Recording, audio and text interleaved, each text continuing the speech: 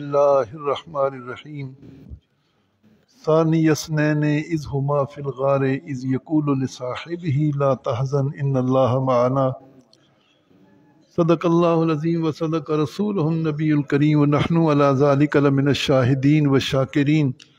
वल्हम्दुलिल्लाहि रब्बिल आलमीन। इन्नल्लाह व मलाइकतहु युसल्लूना अलन नबी। या अय्युहल्लज़ीना आमनू सल्लु अलैहि व सल्लिमू तस्लीमा।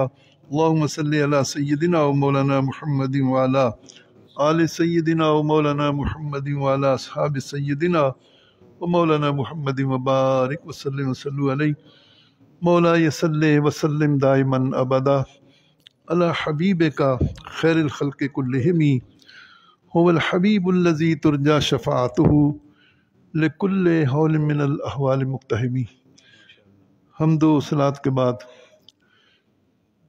साहिब सदारत हज़रत नाजशी अहल सुन्नत, काजी वली रहमान साहब, दामत मालिकुम, नहायत ही लायक इकराम कराम और हाजरीन बातमकीन शम रसालत के परवानों, जमाल मुस्तफ़ा के दीवानों।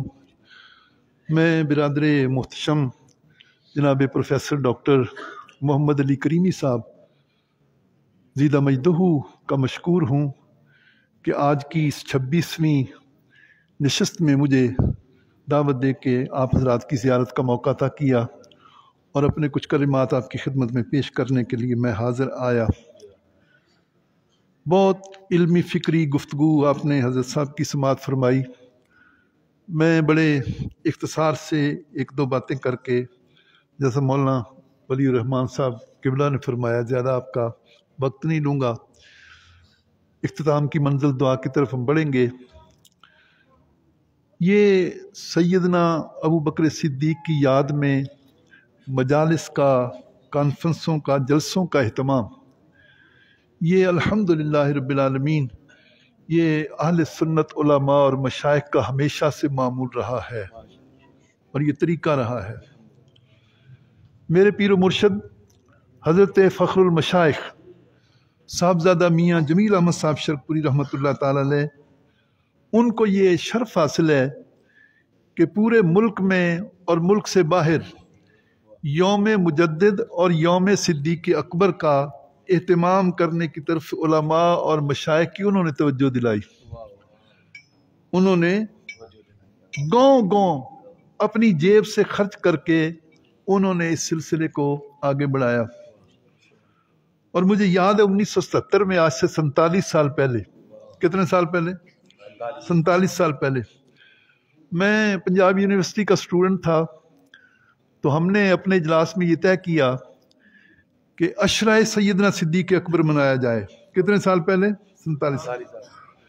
तो हमने उस ज़माने में छोटे छोटे बीस तेईस के इश्तहार थे। हमने बड़ा इश्तहार शाया किया। लाहौर की दस बड़ी मस्जिदों में अशरा सिद्दीक अकबर, अंजमन तलबा इस्लाम के प्लेटफॉर्म से हमने अहतमाम किया। मैं मुबारकबाद पेश करता हूँ। डॉक्टर करीमी साहब को कि इसी सिलसिला खैर को ये और ज़्यादा अच्छे अंदाज में आगे बढ़ रहे हैं।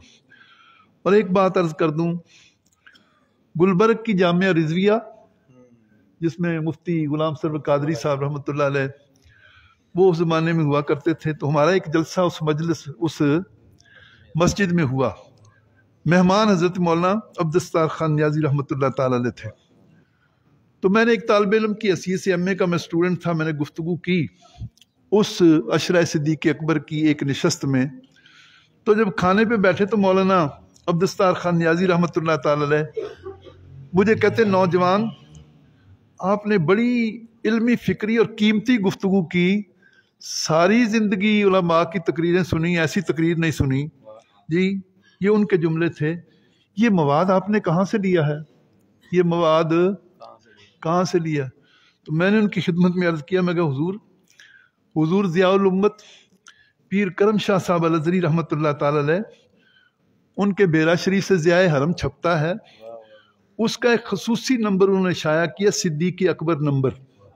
और ये भी और आप भी नोट करें, ये ख़रीद के घर में लाएँ, सिद्दीकी अकबर नंबर ज़िया हरम का। मैं उसमें दुनिया के चोटी के महक्कीन डॉक्टर्स हजरात के उन्होंने मजामी जो हैं उसमें जमा किए हैं, वो हज़ार पंद्रह सौ सफ़ा से ज़्यादा बड़ी किताब बड़ी किताब है। मैं तालब इलम मैंने उस किताब को पढ़ा है, सिद्दीक अकबर नंबर को, नुकात इकट्ठे किए हैं, उसको पेश कर दिया है। मुझे फरमान लगे अच्छा तो फिर वो सिद्दीक अकबर नंबर मुझे ला के दो। मैंने तो वो देखा नहीं है। मैं कहा मैं पेश कर दूँगा। अच्छा तनजीमी मसरूफियात में मेरे जहन में बात न रही। तो इतफाक़ से जब मैं मिलने गया दो महीने के बाद, मौलाना अब्दुस्तार खान हजीर रहमत तो पहला सवाल ये था, वो सिद्दीक अकबर नंबर नहीं आपने दिया ला के तो मेरे साथ एक साथी थे, मैं कहा, ये मोटरसाइकिल ले, वो सेक्रेटरी ओंकार रोड पे था ना जल, उनका घर, मैं जल्दी से ले, अगली दफ़ा डंडा पड़ेगा, अभी मैं जनाब, पेश कर देते हैं। तो माना यह है कि मुताल करना चाहिए और समझना चाहिए इन सारे मामला को। मैं अपनी गुफ्तु का आगाज़ एक कसीदे से कर रहा हूँ तोज्जो है। और ये कसीदा मैंने साइंस कॉलेज से मैं ग्रेड ट्वेंटी में प्रोफेसर ऑफ़ इस्लामियात रिटायर हुआ हूँ तो वहाँ लिखा था मैंने तो जो उर्दू अदब का हेड है, डॉक्टर तारक अज़ीज़, उसने ये कसीदा देख के कहा, प्रोफेसर, उर्दू अदब में ऐसा कसीदा किसी ने नहीं लिखा। उर्दू अदब में सईदना सिद्दीक अकबर का ऐसा कसीदा, ये बड़ा करम हुआ है आप पर। मैं कहा, चलो, मेहरबानी है। वो असल में हज़रत ख्वाजा गरीब नवाज़ मोइनुद्दीन चिश्ती मेरी रहमत का एक बड़ा मारूफ शेर है, बादज खुदा बुज़ुर्ग तो ही किस्सा मुख्तसर। इस जुमले को मैंने ज़मीन बनाया इसमें और फिर ये अशार दिखे हैं। मैं उलमा की मौजूदगी में और मस्जिद में बैठ के जो सच बात आपकी खिदमत में अर्ज़ कर रहा हूँ 2017 में कोरोना से पहले मैं हाजिर हुआ। रोज़ा अकदस पर तो मेरी मामूल है, मैं रात कदमों में साहब सुफ़ा के चबूतरे से सामने जगह वहाँ गुजारता हूँ। तो मैंने खड़े होके ये कसीदा बारगाह सईदना सिद्दीक अकबर में सुनाया। और अल्लाह की इज़्ज़त की कसम मैं सच अर्ज़ कर रहा हूँ, इसमें झूठ नहीं है। और इतनी सत्तर साल की उम्र में बंदा झूठ बोलता भी नहीं है। तो मैंने कहा, हजूर, ये कसीदा मैंने लिखा है, आपकी खिदमत में पेश कर रहा हूँ। बाकी सारे अहल इल्म, प्रोफेसर हजरात ने उर्दू के तो मुझे बड़ी दाद दी, तहसीन दी, आफरीन कहा। मुझे तो आपसे मंजूरी चाहिए। आपसे मंजूरी चाहिए। तो मैंने अंदर जालियों से देखा तो मुझे रोशनी नज़र आई गोल्डन रंग की। वहाँ सारी सफ़ेद लाइट्स हैं तो मुझे समझ आ गई। फिर मैं कहा, ये मंजूरी की निशानी भी होनी चाहिए। सैद सदीक अकबर की बारगाह में, इस मंजूरी की निशानी भी होनी चाहिए कि मेरी जल्द हाजिरी हो जाए। सत्रह में ये बात की है उस जमाने में मेरी अहलिया मेरे बड़े भाईजान वो मैं साथ उनको लेके गया था। तो आपको मालूम मैं रमज़ान में बैठा एतकाफ़ में तो एक बड़े मेहरबान दोस्त आए प्रोफेसर मेरी तरफ़ से आप हज पे चले जाए। 2018 में सैदना सिद्दीक अकबर के तसरफ से अल्लाह करीम ने हज भी जो है वो ये दूसरा हज था मेरा। तो कहना यह है जो उनकी खिदमत में सपासी अकीदत पेश करता है उनको वो अपने फ्यूज़ो बरकत से ज़रूर नवाजते हैं। ज़रूर। वो कसीदा क्या है कि सिद्दीक हैं जहाने सदाकत के ताजवर। सिद्दीक हैं जहाने सदाकत के ताजवर।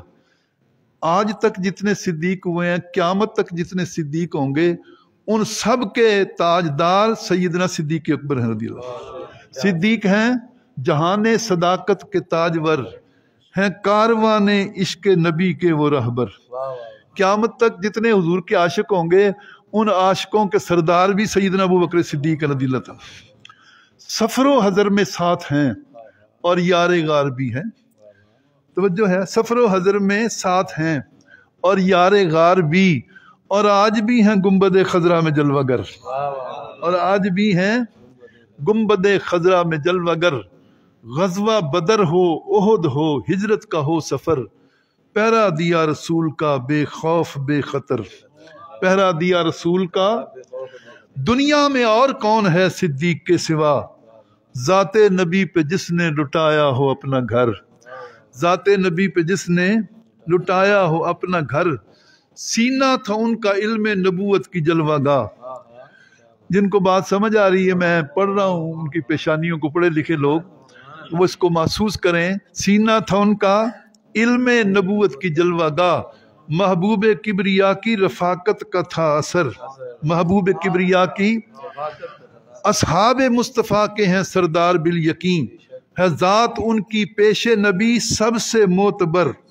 है उनकी पेश नबी सबसे मोतबर। और इस जुमले पर भी तवज्जो करें कि सबसे बड़ी इबादत जियारत नबी की है। सबसे बड़ी इबादत जियारत नबी की है। रहती थी उनकी चेहराए सरकार पर नज़र। रहती थी उनकी चेहराए सरकार पर नज़र। और क्या शान है उनका? होता मैं उनके सीनाए अजका का एक बाल। होता मैं उनके सीनाए अजका का एक बाल।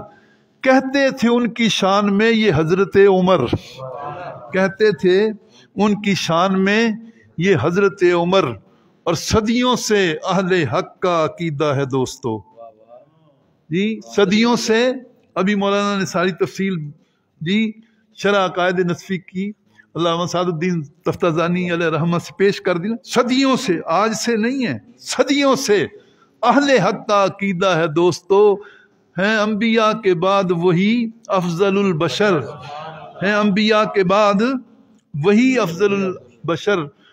और मक्ते में मैं वो सारा मजमून ले आया हूँ। वो क्या है? हो अशरफी बयान कहाँ उनका मरतबा? हो अशरफी बयान कहाँ उनका मरतबा? बाद अज नबी बुज़ुर्ग हैं वो किस्सा मुख्तसर। साजा गरीब नवाज़ मोइनुद्दीन चिश्ती जी मेरे ने लिखा ना कि जी हाँ कि खुदा बुज़ुर्ग हैं, हुजूर करी। हमने क्या कहा? कि बाद नबी बुज़ुर्ग हैं, वो किस्सा मुख्तसर। इस कसीदे के बाद अहबाब कराम हुजूर की मजलिस सजी हुई है और साहब कराम आल बैत थार सारे जलवा आ रहा हैं और हुजूर सैदना सिद्दीक अकबर को हुजूर अपने बाजू से पकड़ के खड़े हो जाते हैं। और ये कहाँ लिखा है? मीर अब्दुल वाहिद बिल गिरामी रहमत तसव्वुफ की बड़ी मोतबर किताब है, सबा सनाबिल। क्या नाम है? ये हज़रत मीर अब्दुल वाहिद बिल गिरामी रहमत वो हैं जिनका आला हज़रत ने कसीदा लिखा है, पूरा कसीदा। जी, इनका लिखा है कि बिल गिराम इनकी वजह से जन्नत है। उस किताब को, सबा सनाबिल को खरीद के घर में रखो, खुद भी पढ़ो, बच्चों को बड़ी कीमती किताब है। उसमें वो लिखते हैं कि हुजूर सरकारी दो आलम सलाम खड़े हो गए, साहबा की मजलिस में हज़रत अबू बकर का बाजू पकड़ कर फरमाया माफा का अबा बकरिन बेकसरत सलात वसोम वला किन बेशैन कद वुक रफ़ी कल्ब ही बस मैं इसी की शरह करूँगा और ज़्यादा आपका वक्त नहीं लूँगा।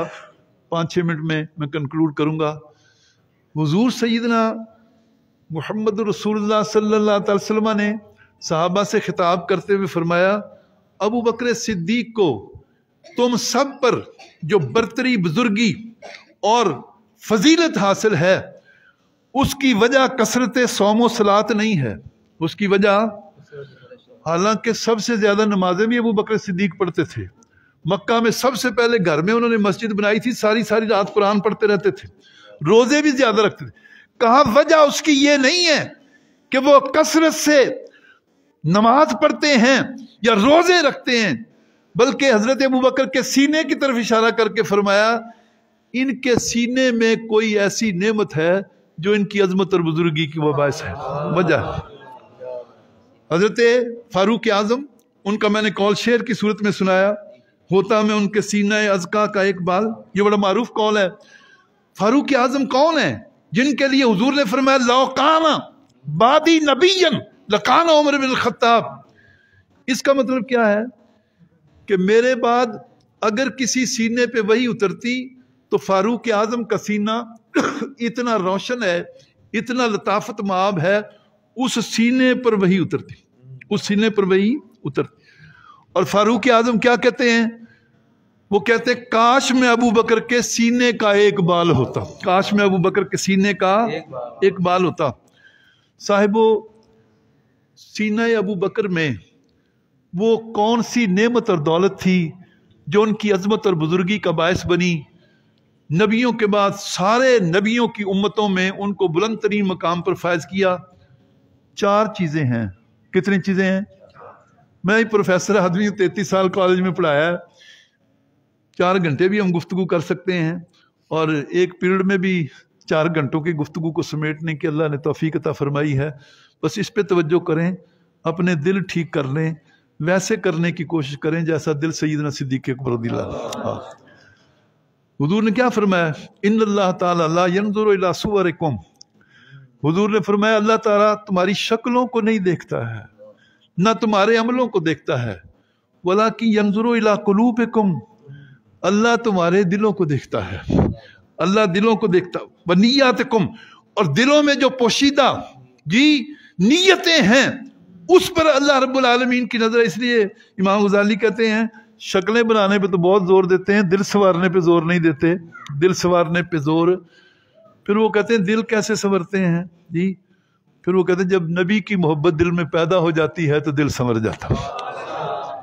तो चार बातें कि सीना अबू बकर में जो दिल है, उस दिल के अंदर चार ऐसी नेमतें हैं जिनकी तरफ़ इशारा किया गया कि वो उनकी बर्तरी और बुजुर्गी का बायस है, उसमें पहली नेमत नेमत ईमान है। नेमत उलमा बैठे हैं, मैं तालब इलम से आदमी हूँ, ज़्यादा लंबी बात नहीं करता। ईमान नाम है दिल की तस्दीक का।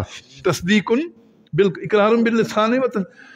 और वल्लवी जा बिस्द के वसदा का ही इस आयत ने हज़रत अबू बकर सिद्दीक के वो जो सिद्ध की कैफियत है, उसको बयान कर दिया है। विशाल के वक्त मौला कायनात अली मुर्तज़ा ने लोगों से खिताब करते हुए कहा, इस आय करीमा में वल्लजी जा बिस्क से मुराद मोहम्मद रसूल्ला हैं और जिसने तस्दीक की, उससे मुराद सैद अबू बकर सिद्दीक हैं। ये मौला कायनात अली मुर्तज़ा के सबसे पहले, ये सबसे पहले जो हस्ती ईमान लाई है, उस हस्ती का नाम क्या है? अबू बकर सिद्दीक है। अच्छा सारे ईमान लाए हैं ऐलान नबूत के बाद। जी, सब लोग ईमान लाए हैं ऐलान नबूत के बाद। हज़रत अबू बकर को ये शर्फ हासिल है, वो ऐलान नबूत से अठतीस साल पहले हजूर को नबी जानते थे। मैं मोतबर हैसियत से, तारीख का तलब इलम होने की हैसियत से मोतबर बात कर रहा हूँ। जी, चालीस साल की उम्र में हजूर ने ऐलान नबूत किया, हज़रत उम्र हज़रत सईदना अबू बकर सिद्दीक की उम्र कितनी है उस वक्त? अठतीस साल। दो साल या ढाई साल छोटे थे। हज़रत अली मुर्तज़ा करम वजल करीम, नाबालिग सात या आठ साल के बच्चे हैं, बालग नहीं हुए हैं। जी। तो हज़रत अबू तालिब के साथ रसूल अकरम वसल्लम ने जो सफ़र किया शाम का, बसरा राहिब ने बताया, ये जो बच्चा है, मैंने इसको देखा है, ये आम बच्चा नहीं है, दस साल की उम्र है सरकार की। तफसील मौजूद है। ये जिस दरख्त के नीचे बैठा है, उसने झुक के साया किया है। ये चलता है तो बादल का टुकड़ा इस पर साया करता है। ये सारी निशानियाँ नबी आखिर की हैं। इनको यहाँ से वापस भेजो। ऐसा ना हो, यहूदी पहचान के इनके कत्ल की साजिश करें। तो उस सफ़र में अपने वालद ग्रामी के साथ, हज़रत अबू बकर भी साथ हैं। फिर सारा जो वक्त है ऐलान नबूत से पहले अठतीस साल में से, चलो आठ साल बचपन के निकाल दें, तीस साल ऐलान नबूत से पहले का जो वक्त है, वो सारे का सारा वक्त हज़रत अबू बकर सिद्दीक का सईदना मोहम्मद रसुल्ला के साथ गुजरा है।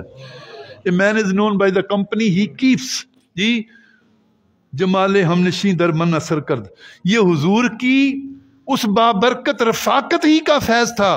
कि ज़माना जहालियत में भी न कभी उन्होंने बुतों को सजदा किया, न कभी किसी खराबी, शराब वगैरह को हाथ लगाए। हजूर की सोबत का फैज था। अच्छा जब ऐलान नबूत का वक्त आया है तो हजूर यमन में है, सईदना फारूक, अबू बकर सिद्दीक। वहाँ ख्वाब देखा कि आसमान से चाँद उतरा है। उसने मक्के की गलियों में चक्कर लगाया, लोगों ने दरवाजे बंद कर लिए। हैं हुजूर ने दरवाज़ा खोल के उस चाँद को अपनी गोद में ले लिया है।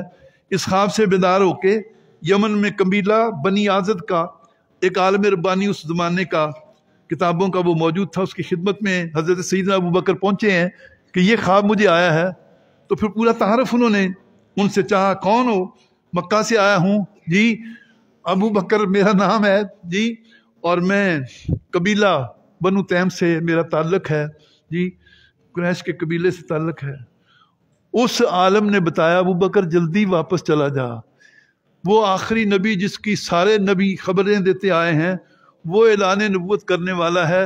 इस ख्वाब का मतलब ये है कि सबसे पहले उसकी नबूत की आज़ाद मर्दों में से जो तस्दीक करेगा वो तू होगा और उनके विशाल के बाद जो उनका जानशीन बनेगा वो भी तू होगा। वो भी।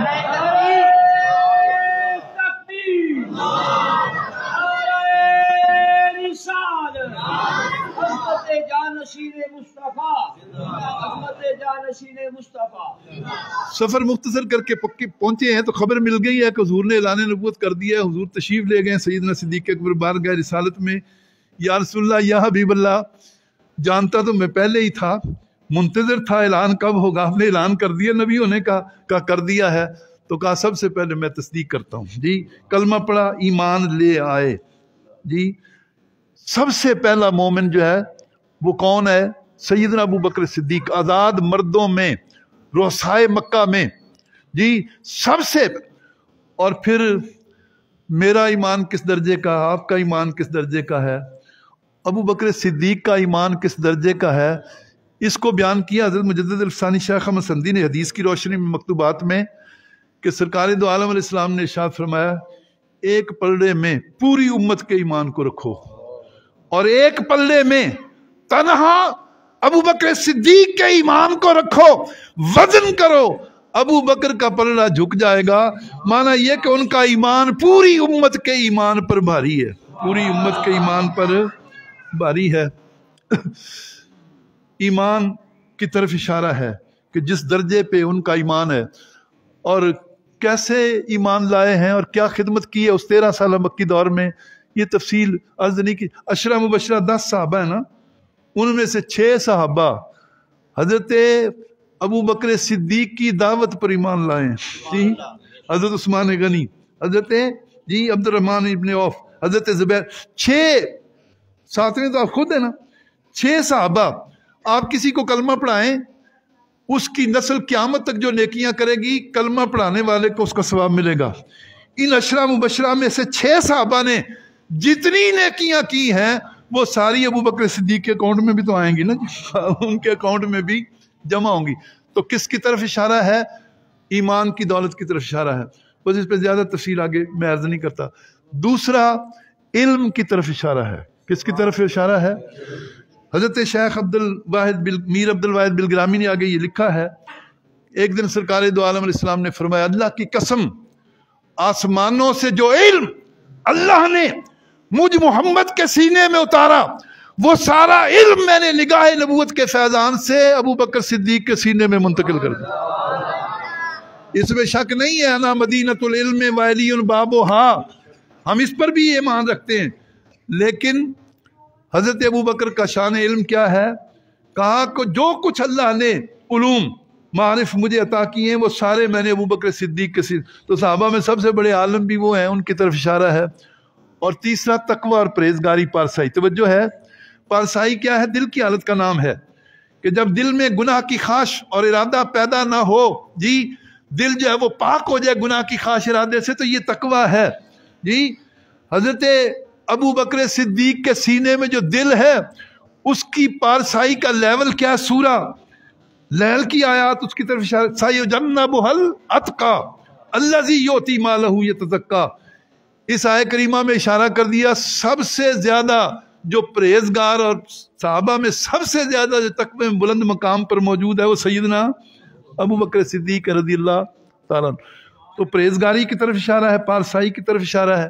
जी, ईमान हो गया, पारसाई हो गई और तीसरा तकवा हो गया, ठीक है?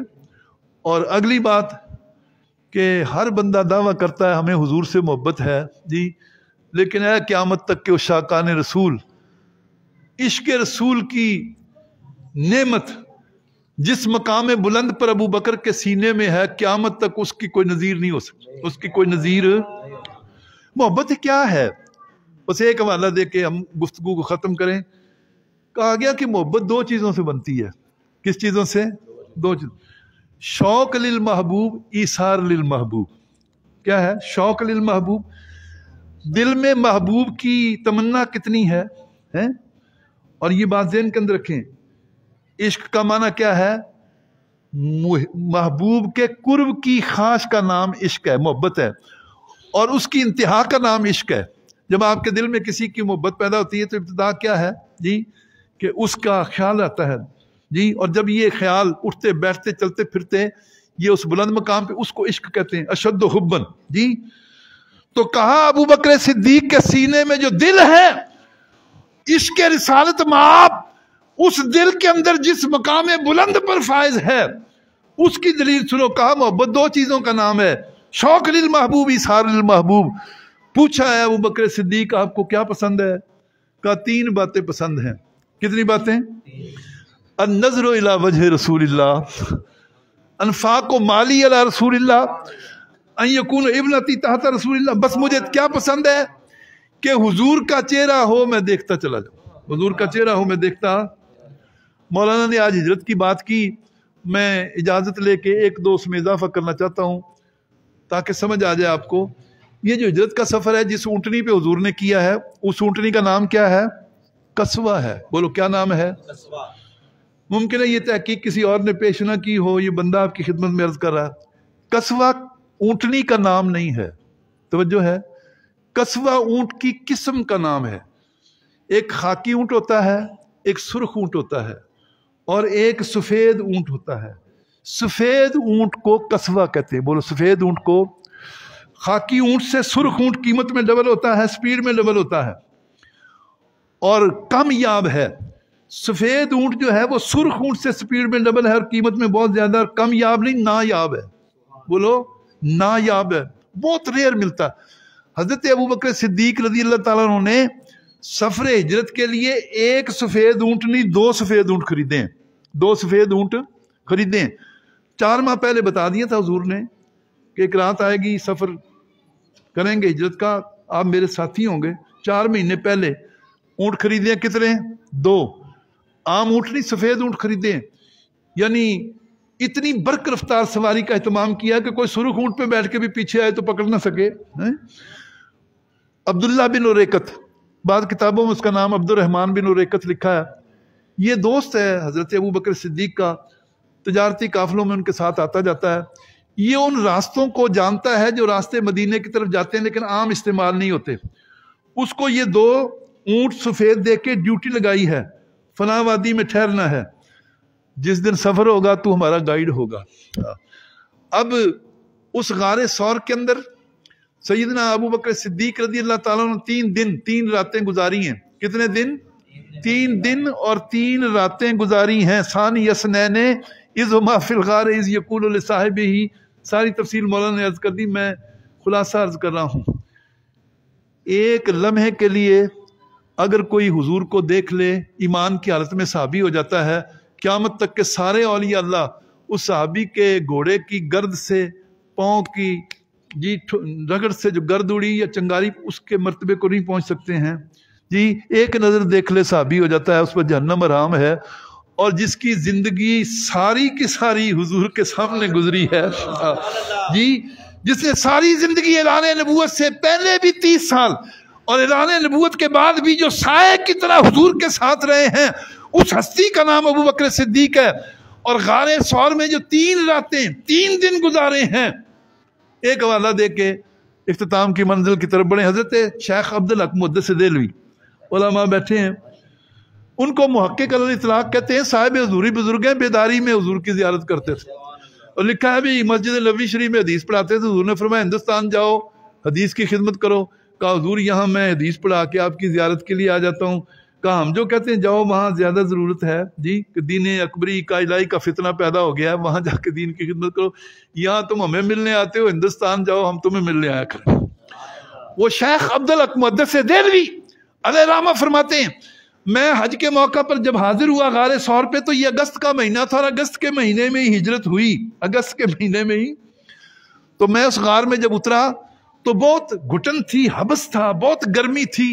वो फिर ऊपर चोटी है जी, इतनी शदीद गर्मी में मेरे दिल में ख्याल आया। तवज्जो है उलमा, हज़रत। शेख अब्दुल अकमद से दिल भी फरमाते हैं, मुझे ये ख्याल आया, ए मौला करीम, तेरा वो महबूब सैदुलम्बिया वलमरसलीन इमामबिया वलमरसलीन कायदुलम्बिया वलमरसलीन जिसको तू जबरील भेज के बुराक पे बिठा के जी सिदरतुलमुंतहा लाए सत्तर हज़ार पर्दे रफ रफ पे तय करा के काबा कौसैन के ईवान में अपने हम उसने लम यजल के जलवे दिखाए फाउहा इतने बुलंद मकाम के हामिल उस हस्ती को इस गार में, तारीख गार में जहाँ सांप रहते हैं, बिच्छू रहते हैं अजदा रहते हैं, तीन दिन ठहराया।